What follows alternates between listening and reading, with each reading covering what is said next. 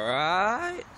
So, today I am going to go meet my old drama school teacher for a pint because I miss him. I haven't seen him in like three months. And he was one of my favourite people ever. But I was thinking, just walking back there, that um, a lot of my songs uh, that are on YouTube are just me sort of playing my piano. And there's maybe like three or four mu. I think there's four music videos, and the rest are just me playing my piano, bashing out songs and it occurred to me that a lot of my, at least two of my music videos, I'm not happy with.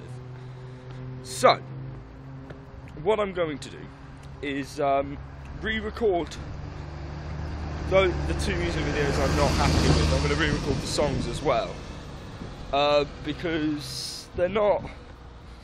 I mean, Indifference was okay produced in terms of music because um, I had help from Steve. But I need to sort of take that and make it better.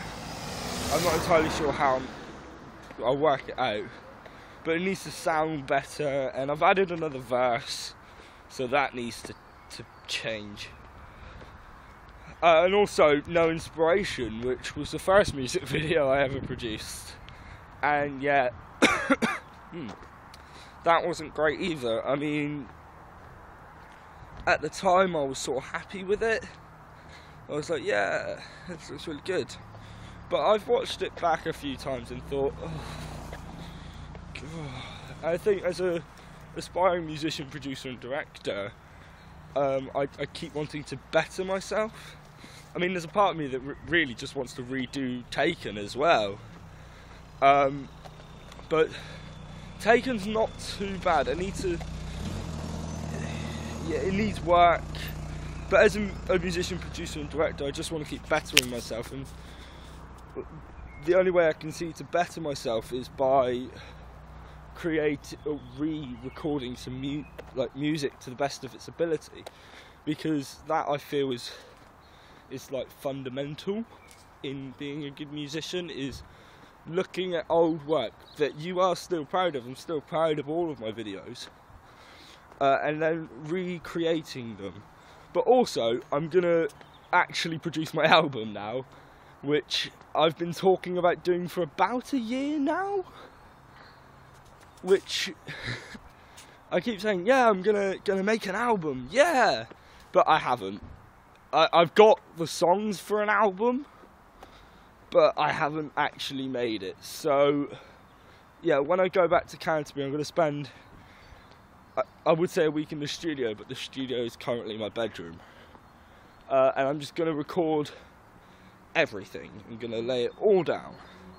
And then I'm going to convert it into, or do what I need to do with it, make it sound as good as it can be. And then I'm going to put it on probably my Bandcamp because I don't have an iTunes merchant account thing, which is actually proving quite difficult to get hold of.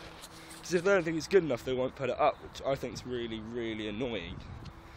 But yeah, so plans. I did say that was one of my New Year's resolutions to finish my album, which I have, for all intents and purposes, finished. I've got something like 14 songs talking of songs, I'm gonna be making a new song as well when I go back to Canterbury about zombies. I've sort of wanted to write a zombie song for a while, and I might, I don't know whether it's gonna be on my solo album or part of my band. I think it might be part of my band because I want a sort of pop punk feel to it, and I can't just do that on piano. So yeah, oh, this one's actually turned out to be quite a long one compared to my others. So yeah, things to take away from this video. Gonna re-record No Inspiration and Indifference and reproduce them. Um, always want to better myself as a musician. Gonna record my album. Uh, gonna go up on my Bandcamp.